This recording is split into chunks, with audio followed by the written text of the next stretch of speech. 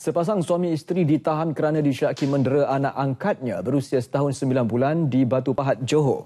Suspek berusia 34 dan 30 tahun ditahan di rumahnya di Batu Pahat kira-kira 9 pagi tadi.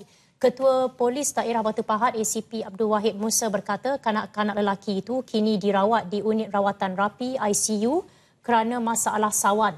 Keadaannya kritikal dan terpaksa menggunakan alat bantuan pernafasan. Selain itu, terdapat kesan melecur di tangan dan sebahagian kaki mangsa.